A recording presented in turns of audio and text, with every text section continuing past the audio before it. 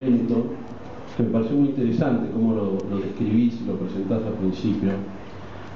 Me hizo acordar también algo que me llamó la atención, que menciona Nabokov sobre, sobre la metamorfosis de Kafka en sus lecciones de literatura, donde aconseja a los escritores y a los lectores de dibujar el plano donde transcurre la acción.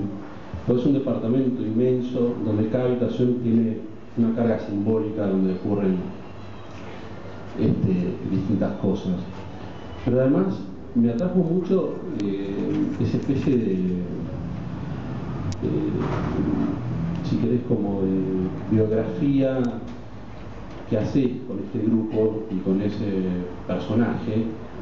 Por momentos me hizo acordar un poco a, a, a con Ravelstein, no sé si no, no, no, eh, la cuestión es que de por sí que el asesinado sea un escritor y que la trama y el móvil quizás de ese crimen tenga que ver con la literatura, creo que es muy original. Este, y, yo veo muchas, los muchos temas que aparecen, hay dos que a mí me llamaron más la atención y creo que confluyen en la búsqueda de Félix.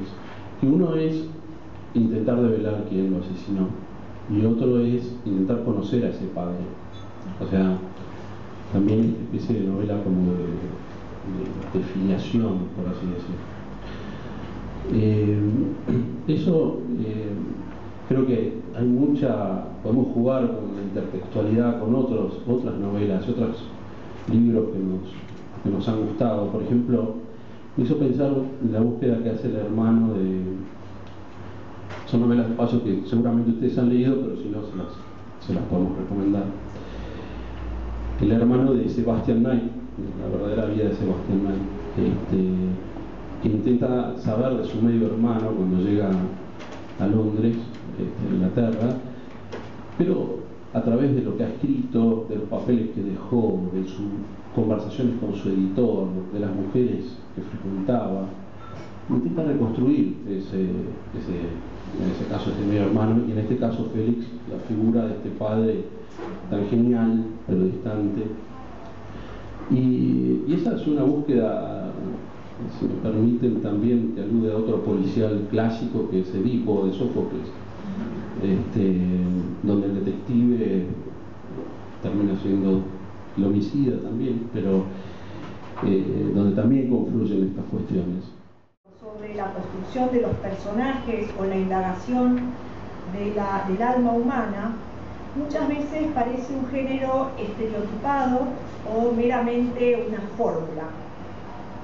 Un lugar común, por ejemplo, es encontrarse con un detective alcohólico. ¿Cuántos detectives alcohólicos leeremos todavía? ¿No es cierto? Ahora bien, me parece que los lectores de novelas policiales no deberíamos atenernos exclusivamente a las intrigas veloces pero irreflexivas o vacías. Me parece que el policial es muchísimo más que eso. La muerte y la brújula de Borges, la pesquisa de Juan José Saer, Santuario de William Faulkner, algunas novelas de Mankell, de P.D. James, muestran que el policial es mucho más, mucho más que eh, un mediocre esquema. Ahora bien, también yo no descartaría tan rápidamente la cuestión repetitiva que el policial tiene, las reiteraciones, ¿no? el placer de la reiteración. Empezar a leer un policial es saber siempre de antemano a dónde se va a llegar, se va a llegar a la verdad, ¿no es cierto? Por más que el autor nos manipule con las pruebas, la pesquisa. Leer un policial es también, digamos, frecuentar el, modesto placer de resolver un enigma como puede ser el de un crucigrama. Hay algo placentero en eso también, ¿no es cierto? Además, los policiales nos ponen en estado de suspensión, en suspenso, seguimos una trama, pero nunca caemos o tenemos el riesgo de caer en el abismo de la ignorancia, porque ya sabemos a dónde vamos, la verdad será descubierta al final. Esos aspectos del policial son placenteros, incluso podrían ser terapéuticos, pero no, no viene al caso, ¿no? Pero eh, eh, sería interesante también poder pensarlos en esa, en esa línea, ¿no? El policial trata ni más ni menos que del quinto mandamiento, no matarás.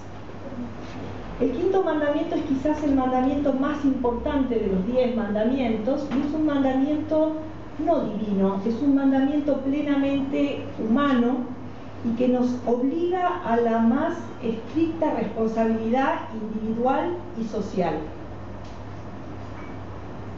Eh, el quinto mandamiento hizo posible el pacto civilizatorio y sigue rigiendo aún hoy la convivencia social. Por lo tanto es importantísimo. A pesar de eso, el quinto mandamiento se incumple constantemente, se incumple de manera explícita o larvadas en las guerras, por hambruna, por droga, por asaltos, por odio, se, se mata a muchísimas mujeres por el hecho de ser mujeres, por ejemplo.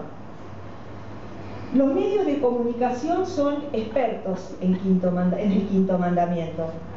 ¿no? consignan diariamente muertes, muertes por hambre, femicidios, asesinatos. Y nosotros absorbemos constantemente esas noticias. El interés por la muerte más o menos violenta explica para mí diversas eh, cuestiones, cuestiones para tener en cuenta.